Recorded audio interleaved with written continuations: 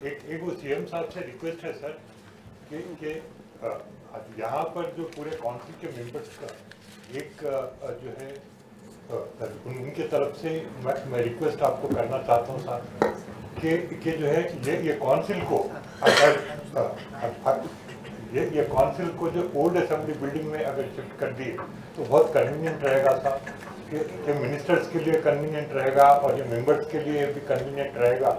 और और जो ये ये रहेगा कि जो दोनों, जो जो जो हाउसेज जो चलते हैं, उसमें जो ताखिर यहाँ पे होती है, कि कि वहाँ पे प्रोसीडिंग्स कंप्लीट नहीं हुए तक यहाँ बादल दफ़ा यहाँ पे हमारे को ठहरना पड़ता है। तो वहाँ अगर रहा तो अगर एक एक ही प्रीमिसेस के अंदर दोनों जो हाउसेज अगर फ़ंक्शन हुए तो बहुत अच्छा रहेगा, सर। ये ये कन्वीनियंट सबके लिए रहेगा, आप आप, आपको लेजिस्लेचर सेक्रेटरीट के लिए रहेगा, उनके स्टाफ के लिए फिर ये मेंबर्स यहाँ के और वहाँ के और फिर मिनिस्टरों के लिए सबके लिए रहेगा तो आपसे ये ये जो इल्तजा है आप आप इस पर रिस्पॉन्ड कीजिए सर जाफरी साहब।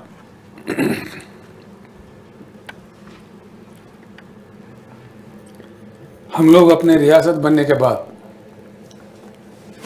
नया सेक्रेटेरिएट नया असेंबली हम लोग बनाना चाह रहे थे। उसके वास्ते हमने मरकज़ के सरकार से दरख्वास्त किया था। कि वो बाइसन पोलो ग्राउंड हमको दे दें, क्योंकि वो हमारा ही ज़मीन है। तारीख हमारा कहता है कि जब थर्ड निज़ाम ब्रिटिश वालों से दोस्ती कर लिए थे, उनका एक डिमांड था कि हमारा ब्रिटिश आर्मी यहाँ रहेगा, उनके लिए जगह आप तैयार करो। तो निज़ाम मान लिए थे और उनको जगह बता दिया था। यहाँ आप रह सकते हैं आपका आर्मी रह सकते हैं। जो आज बुलारम का कंटोनमेंट है। हमारा निज़ाम सरकार का बताया गया जगह है, दिया गया जगह नहीं। उनको ना ट्रांसफ़र किए, ना पट्टा किए, वो ज़मीन हमारा ही है, ये हकीकत है। ये तारीख है तेलंगाना का। और जैसा पुलिस एक्शन के बाद हिंदुस्तान में हम जम हो गए। उस समय में ऑटोमेटिकली इंडियन आर्मी ने उसको ले लिया ऐसा। बस यूँ ही चला गया। कोई रिकॉर्ड ट्रांसफ़र नहीं हुआ। आज भी आर्मी के पास कोई रिकॉर्ड नहीं है। हमने ये बात वज़ीर आज़म को कहा है। होम मिनिस्टर को कहा है डिफेंस मिनिस्टर को भी कहा है। ये हमारा हक है, हम इसके हकदार है। जो कि डिफेंस को एक इज़्ज़त है हमारे दिल में। बॉर्डर पे वो लोग लड़ रहे थे, हम यहाँ सुकून बैठे हुए। तो इसलिए डिफेंस पे, डिफेंस के जगह पे हम कोई झगड़ा पैदा नहीं करना चाहते, लेकिन मेहरबानी करके ये जगह दो बोल के मैंने बोला। उस समय के डिफेंस मिनिस्टर साहब जो अरुण जेटली साहब थे, अब वो नहीं रहे हमारे बीच में, उन्होंने मुझे खत भी लिखा कि in principally it is agreed हम ये ज़मीन दे रहे आई वॉज़ वेरी हैप्पी अगर वो ज़मीन मिल जाता तो हमारा ख्वाब था कि अच्छा नया सेक्रेटरीट बनाओ, तारीखी।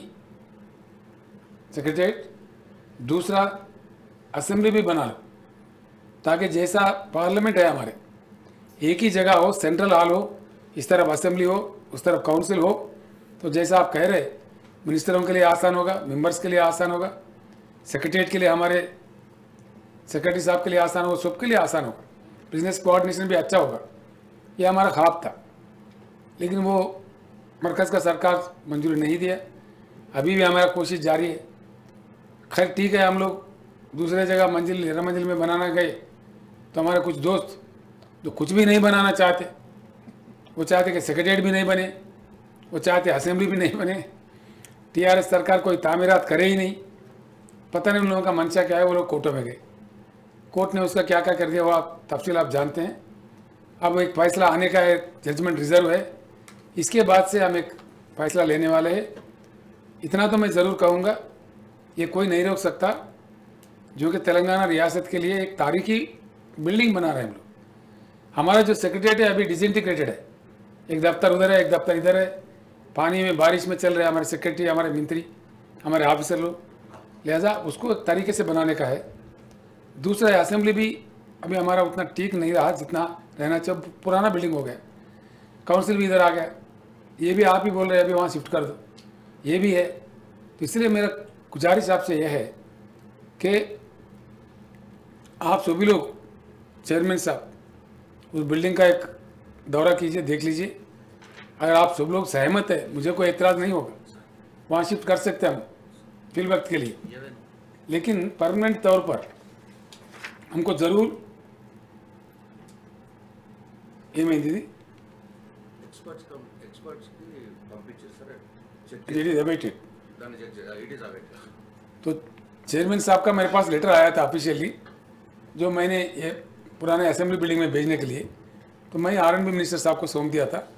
वो मिनिस्टर साहब का मानना है कि आर के इंजीनियरों ने एक्सपर्ट के पास वो भेज दिया कि वहाँ रख सकते काउंसिल जाके, कैसा करना चाहिए, अगर रखना चाहिए तो कुछ सुधारना चाहिए क्या?